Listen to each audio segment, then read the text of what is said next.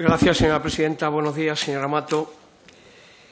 Eh, lamentándolo enormemente, eh, tendremos que entrar en cuestiones personales, pese a que usted nos intente vender desde el minuto uno en esta comparecencia que bueno, que aunque usted estaba casada con el señor Jesús Sepúlveda, el señor Jesús Sepúlveda funcionaba por un lado, usted funcionaba por otro y no había ningún tipo de comunicación en esa pareja, lo cual resulta enormemente sorprendente y más estando casado en régimen de gananciales. Pero bueno, vamos a dejarlo para después, porque yo creo que primero eh, resultará muy interesante mm, bueno, ilustrarnos acerca de, los cargos que ha ocupado usted en el Partido Popular, en la estructura orgánica del Partido Popular. ¿Podría usted referirnos cuáles han sido esos cargos, digamos que por orden cronológico? Le pregunto, le pregunto, sí, sí. Lo, he traído una chuletita, pero lo voy a intentar deciso de memoria, más o menos. Yo creo que empecé hace 35 años en el Partido Popular, que empecé en un departamento, era, incluso era Alianza Popular entonces, un departamento que, de autonomías y local, que es cuando se creó y se puso en marcha la intermunicipal y la interparlamentaria.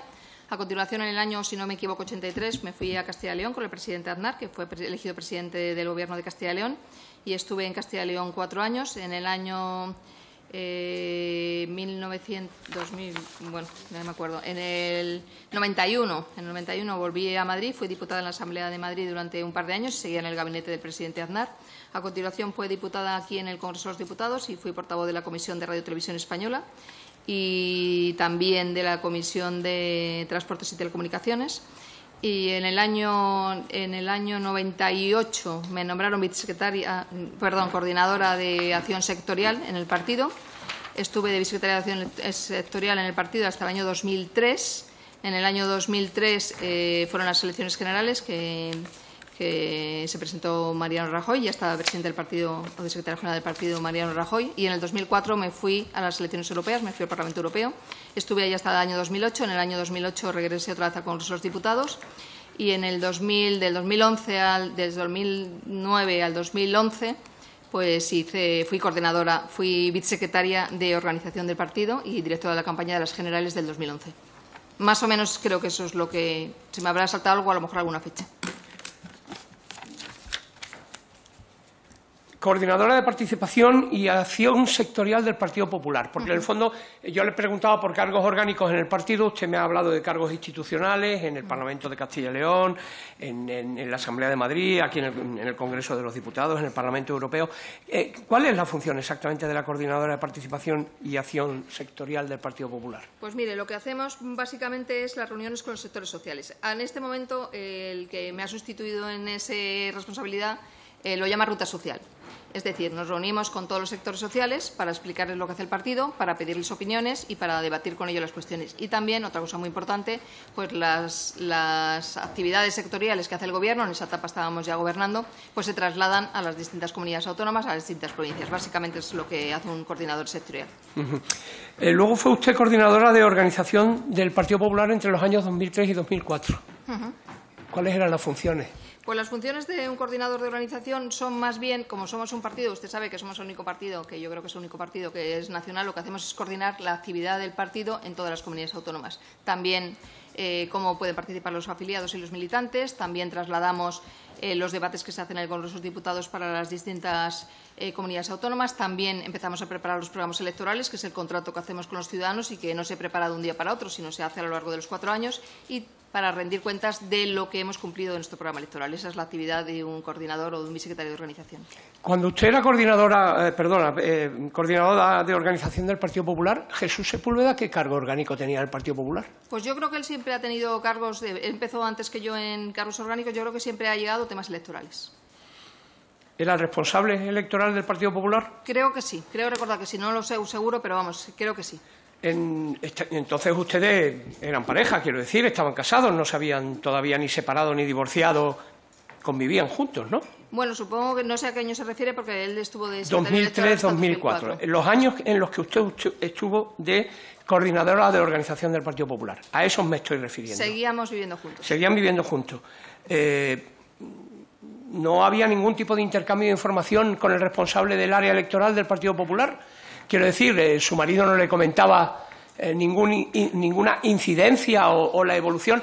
Teniendo en cuenta que, si no me equivoco, en el año 2003 él aspiraba a la, a la alcaldía de Pozuelo de Alarcón, ¿no? Por lo tanto, estaba directamente interesado en el funcionamiento de todo el régimen electoral para esa anualidad del año 2003. No hubo ningún tipo de comentario, no le comentaba nada acerca de financiación, acerca de, de dónde provenían los fondos de la campaña, de cuántos fondos eh, disponía el Partido Popular para atender esa campaña electoral o de cuántos fondos disponía él para atender a la campaña electoral en el Ayuntamiento de Pozuelo. Mire, absolutamente nunca, por varios motivos. Uno, porque yo en, primero no voy a desvelarle mis conversaciones privadas en mi casa, pero en mi vida privada, se lo he dicho, es mi vida privada y no voy a hablar. Y jamás hablo de trabajo en mi vida privada, porque separo bien, más que nada porque tengo tres hijos que te ocupan mucho tiempo y usted sabe, porque no sé cuánto tiempo lleva en política, pero sí lleva mucho, que la actividad política te ocupa todas las horas del día y muchas más. El poco tiempo libre que me queda siempre lo he dedicado a mis hijos y absolutamente nada más. Por tanto, no me iba a poner a hablar de esas cuestiones en el ámbito familiar.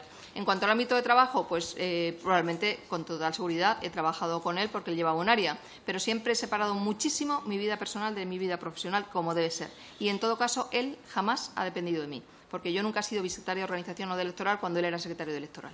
Por tanto, desconozco todas esas cuestiones porque no eran mi responsabilidad y, por tanto, no tenía por qué llevarlas adelante. ¿Siguió usted la campaña electoral que hizo su marido, su entonces marido, eh, para el Ayuntamiento de Pozuelo de Alarcón? Pues ya le digo que no, porque yo estaba dedicada a la coordinación sectorial del partido y estaba dedicada a hacer otros actos. Y, por tanto, si estaba en la campaña nacional, difícilmente, y la campaña nacional incluye también la campaña de los 7.000 7.000 municipios que hay en toda España. Estaba dedicado a todos los municipios de toda España. Yo no trabajo para mi ex marido. Nunca he trabajado para él y iba a decir nunca trabajaré. Eh, yo tengo mi profesión, me dedico a la política por vocación, eh, lo decidí desde que tenía 18 años, que decidí estudiar ciencias políticas para hacerlo, y desde entonces trabajo en un partido político y con un cometido y una responsabilidad. Y cumplo mi responsabilidad. Luego ya está el ámbito privado, que como le he dicho no voy a hablar de él porque nunca lo he hecho y no lo voy a hacer a partir de ahora tampoco. En el ámbito de mi responsabilidad no estaba el seguimiento de las elecciones municipales de ninguno de los 7.000 municipios de España. Y, por tanto, desconozco cómo se hizo esa campaña electoral. Ustedes en ese momento vivían ya en Pozuelo de Alarcón, ¿no? Sí, viví en Pozuelo de Alarcón desde que volví de Valladolid. Por lo tanto, em, resultaba importante quién pudiese eh, finalmente ser elegido alcalde de Pozuelo, sí, siendo el candidato del Partido Popular Jesús Sepúlveda, que era la persona con la que usted compartía toda su vida y además criaban en común esos tres hijos que, que formaban parte o que prácticamente pues absorbían todo su tiempo libre sin, capacidad ninguna de, eh, bueno, de, que dos personas que se dedicaban activamente a la política desde, desde tiempos lejanos, bueno, pues no hiciesen el más mínimo comentario acerca de cómo podía ir el proceso eh, preelectoral en el Ayuntamiento de Pozuelo, en donde una de las partes de esa pareja, bueno, pues estaba jugando el futuro político y me sorprende enormemente que no hubiese nunca ninguna transmisión de información. Eh, porque, mm, no sé, mm, me sorprende que no tuviese usted la curiosidad de saber exactamente a cuánto, a cuánto ascendía el presupuesto de, de, la campaña electoral de Jesús Sepúlveda a la alcaldía de Pozuelo o, este tipo de detalles o no le llamase la atención, bueno, pues digamos que, que, una sobreabundancia de publicidad respecto a los candidatos de otros partidos, porque se lo digo porque en la sentencia de Gürtel consta claramente que Jesús Sepúlveda, quien entonces era su marido, acudió dopado a las elecciones de 2003 al Ayuntamiento de Pozuelo de Alarcón. De ahí que me sorprenda que entre dos políticos de profesión, porque en el fondo en ese momento la política era su profesión, no se intercambiase información acerca de, digamos que, bueno, de los detalles de esa campaña electoral del año 2003. Mire, se lo he dicho y se lo repito. Y yo no sé si usted no ha tenido muchas relaciones de pareja o no ha tenido muchas responsabilidades en un partido. Le digo, las relaciones de mi pareja no las voy a comentar y los, y los contenidos de las conversaciones que haya podido tener en privado tampoco. Uh -huh. Y lo separo radicalmente y además no volveré a, a, volver a contestarle ese tema porque le he dicho que eso es tema familiar. No voy a mencionarlo por respeto a mí y por respeto a mis hijos. Por tanto, uh -huh. no voy a ver, mencionar nada del tema que tenga que ver con mi vida privada ni con la relación que yo tuviera a nivel privado. En segundo lugar, a nivel de relación profesional. Un partido político eh, lo que hace es ganar votos y ganar elecciones. ¿Para qué? Para que el candidato, es mi modo de pensar, que a lo mejor usted no lo comparte, para que el candidato tenga su futuro profesional resuelto, pues no. Para mejorar los, la vida de los ciudadanos de cada municipio, pues sí. Entonces, yo he podido saber que el Ayuntamiento de Pozuelo, supongo que no, porque entre 7.000 municipios en España, lógicamente la Dirección Nacional, y yo estaba en la Dirección Nacional, nunca en la regional, no sabíamos cómo iba la evolución de las encuestas o similar de cada uno de los municipios. Pero probablemente sí he sabido que el municipio, las encuestas que hubieran hecho, si se hicieron, pues iría bien o iría mal o iría regular. Lo importante es que queremos que ganen todos los municipios de España, no por el hecho de que fuera mi ex marido el que se presentara, sino por el hecho que era el PP el que se presentaba a las elecciones. Y yo creo que es importante que gane el PP, y no por afán de poder, sino porque creo que cuando el PP gobierna, mejora la vida de los ciudadanos. Y ese era mi único cometido, mi responsabilidad. ¿Y por qué se lo digo? Porque mi profesión, si esto se llama profesión, que no lo sé, y ahora hay un debate muy importante sobre esa cuestión, ¿no? era mi vocación. Y mi vocación no era por afán de poder, que todo el que me conoce sabe que nunca lo he tenido. Todo el que me conoce, incluso el que no está aquí, saben que nunca lo he tenido. Nunca. Era mi afán porque creo en el proyecto que estaba defendiendo en ese momento. Ahora no lo estoy porque estoy fuera de la vida política. Y creo en ese proyecto porque creo que es positivo para los ciudadanos. Si no lo creyera así, o fuera afán personal, no estaría en política ni hubiera estado desde el principio, porque entré jovencita y con mucha ilusión. Sigo, ya no soy jovencita, pero sigo teniendo mucha ilusión y ya no estoy en la vida política. Pero ya le digo, eh, jamás me he preocupado por el bienestar solo de una persona, sino de lo que significa el conjunto de los ciudadanos. Se lo digo porque mm, lo siento y lo lamento, pero es que su vida personal y familiar está recogida en los hechos probados de la sentencia de Gürtel. Sí, sí, me va a perdonar, señor Amato, sí, sí. Mire, le voy a leer un párrafo para que vea usted que su vida familiar y su vida personal está recogida en los hechos probados. Estos no son. El otro día la señora eh, María Dolores de Cospedal nos intentaba convencer que los hechos probados de una sentencia son opiniones de los jueces. Si quiere, se lo pregunta a la presidenta de, a quien hoy preside la comisión, para que le comente que los hechos probados son el resultado de la actividad probatoria que se ha hecho durante el juicio, no son opiniones de los jueces, ni muchísimo menos. Y mire usted, hay párrafos en la sentencia de Gürtel que hablan de su vida familiar por ejemplo, mediante el inflado de precios, cito literalmente la sentencia, que se cobraban de las distintas administraciones públicas afectadas, la finalidad buscada era la obtención ilícita de importantes beneficios económicos a costa del erario público. Eso significa enriquecimiento personal, que a lo mejor usted no lo ha perseguido, pero quien compartía la vida con usted en ese momento, en ese momento que cita la sentencia, sí se dedicaba al enriquecimiento personal a través de la actividad política o bien comisiones cuando la adjudicataria eran terceras empresas, que luego se repartían entre el Grupo Correa y las autoridades o cargos públicos electos o designados corruptos, entre ellos quien compartía la vida con usted en la finca en Pozuelo de Alarcón, que recibían cantidades... ¿Vivían ustedes en la finca? Vale. hablar, pero yo nunca he vivido en la finca. Muy bien que recibían cantidades de dinero metálico, pero también mediante otro tipo de servicios o regalos prestados por diferentes empresas de esa trama, como eventos, viajes, fiestas, celebraciones, etcétera, de las que en algunos casos se beneficiaron también sus familiares.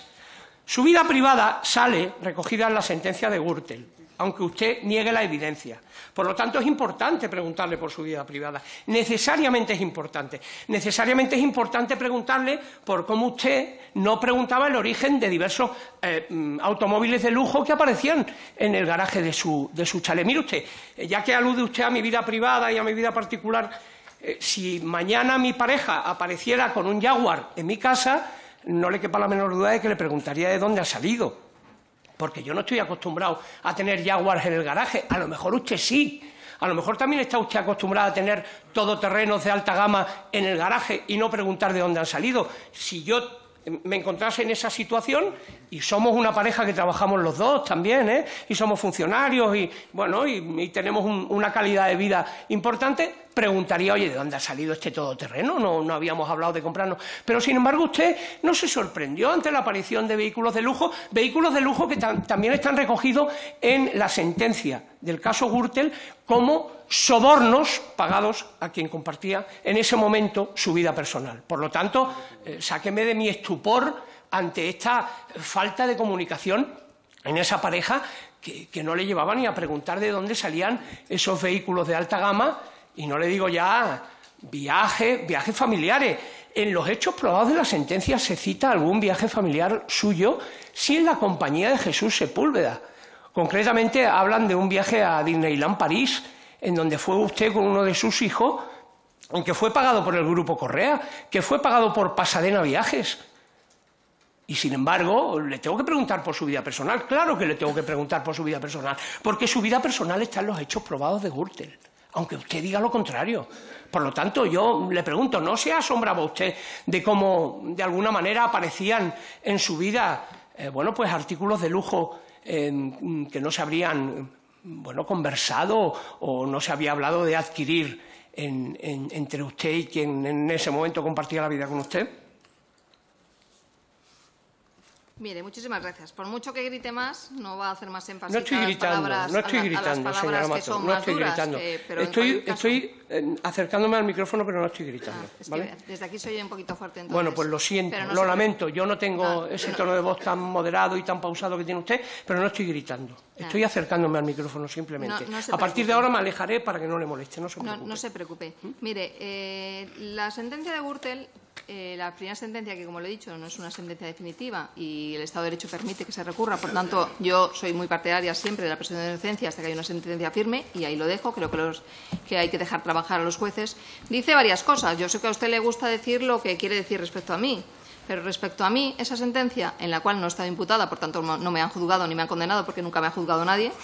Perdón, un matiz. Sí le han juzgado y sí le han condenado no como responsable penal, pero la han juzgado usted como responsable eh, o partícipe a título lucrativo y está usted condenada como partícipe a título lucrativo y si quiere le leo la sentencia de Gürtel, porque es que se empeñan ustedes en negar lo que está puesto en la sentencia de Gürtel. Usted está juzgada y condenada en Gürtel, como responsable o como partícipe a título lucrativo. Pero esas dos palabras se pueden utilizar con toda pureza jurídica, ya se lo garantizo. Mire, yo no soy jurista, o sea que no le voy a inventar la plana yo si sí. lo es. Por eso le he dicho, si usted lo es, no le voy a inventar la plana. Lo que sí que le digo, que a mí jamás me han imputado, jamás me han imputado, jamás me han acusado de ningún delito y lo único que se me exige es una responsabilidad civil a título lucrativo, que usted sabe perfectamente qué significa exige el absoluto desconocimiento de los hechos. No lo digo yo, o sea, no me diga usted, es que esto no se enteraba. Bueno, es que los jueces dicen que yo tenía absoluto desconocimiento de eso y, por tanto, me imponen una, no sé cómo llamarlo, eh, una responsabilidad civil de una cifra que es una cifra pues, pues mm, alta, pero no comparable con algunas otras cosas que ha debido que devolver a unas universidades, que eran unas cifras mucho mayores y otra serie de cuestiones, ¿no? Por tanto, primero lo que le voy a decir, mire usted lo que le voy a decir. Si un juez considera que, aun sin saberlo, como es el caso, yo me he beneficiado de un solo euro, la primera que quiere devolverlo soy yo. Y por eso lo puse el dinero el primer día. Ahora bien, le digo, creo que eso no es así. Porque yo siempre, siempre, siempre me he hecho cargo de todos los gastos familiares que me correspondían. Por tanto, si los gastos familiares a los que usted se refiere, que no son gastos extraordinarios, sino son gastos corrientes de una familia que tiene que viajar porque el resto de la familia está fuera de otras provincias y es siempre por España, una de las partes no la ha pagado, no es mi responsabilidad ni yo tengo que asumirla, porque yo sí he asumido mi responsabilidad. Y creo que el que tiene que rendir cuentas es la parte en que está siendo juzgada. Si me permite la sentencia, ¿sabe usted en 1.700 folios cuántos párrafos me dedica a mi persona? Cinco. Sí, lo tengo aquí, tengo, lo tengo fotocopiado. Le dedica dos folios. No, me dedica un folio y medio y son cinco párrafos. Exactamente, 1.700, cinco párrafos. Sí, sí. Por tanto, le digo que no, y, como le digo, como partícipe a título lucrativo, que queda, suena fatal, porque a mí cuando me lo dijeron me sonó fatal, pero luego cuando me lo explicaron me dijeron, Ana, lo que están diciendo es que tú no tienes nada que ver con eso, ni has sido cómplice, ni conocías, ni has tenido ninguna participación, porque si no, estarías imputada, sentada y te juzgarían. Y como no ha sido así, pues todo lo depende de lo que él haya hecho. Usted me dice que, que una persona se ha enriquecido personalmente yo lo desconozco. Como le digo, la presunción de inocencia para ¿No ha salido usted la sentencia de Gürtel? Bueno, yo le digo que, Bueno, si se lee usted la sentencia de. Yo le digo que el Estado de Derecho permite la presunción de inocencia hasta que haya una sentencia final. Y hoy por hoy no la hay y hasta lo que sé, muchos de los que están en la sentencia han recurrido y, por tanto, habrá que esperar. Y segundo, no me pregunte a mí por lo que ha hecho otra persona. Pregúnteme por lo que haya hecho yo. Porque yo no sé lo que haya hecho otra persona. No sé lo que ha hecho otra persona. Dice, es que usted tenía que haberlo sabido. Pues a lo mejor tenía que haberlo sabido, pero no sé. ¿Por qué? Porque los gastos de los que en teoría yo me he beneficiado eran gastos que le correspondían a él. Y usted dice, yo si voy a hacer la compra para toda la semana, no llevo la factura y superviso la factura y digo, mira, esta es la factura y lo he sacado de mi cuenta número no sé cuánto, no sé qué, porque doy por hecho que tenía dinero suficiente para pagar esa factura. Y doy por hecho que tenía dinero suficiente para pagar el, viaje cuando vamos de vacaciones a nuestra, a nuestra ciudad de vacaciones. Y, por tanto, no he preguntado, no he preguntado. ¿Que hay que preguntarle a tu pareja o expareja todo lo que han hecho? Bien. Y luego le digo otra cosa. Hace 15 años y usted sabe los años que estamos hablando en que estoy yo separada. Por tanto, no le quiero decir nada más. Y como le digo, de mi vida privada voy a seguir sin hablar. Perdón. Muchas gracias. Perdóneme, señor Illanes. Les quedan dos minutos. A dos usted minutos. y a la compareciente. Gracias. No sé, no me ha contestado a usted si no le preguntó por el Jaguar y por el Land Rover, pero bueno, veo que no, que eran, eran ustedes una sociedad de gananciales realmente, eh, realmente peculiar. Eh, verá, señora Mato, aquí hemos tenido oportunidad de escuchar en sucesivas comparecencias cómo el Partido Popular en determinados territorios ha ido dopado a todos los procesos electorales comprendidos entre el año 2003 y el año 2015. Usted fue directora de campaña en el año 2011. Eh, como directora de campaña eh, controlaba eh, bueno, qué, dinero se empleaba para, para, esa campaña del año 2011 en el territorio nacional o esto era un poco como su pareja, se ocupaban otros y a usted no le preocupaba nada. Pregunto. Sí, sí.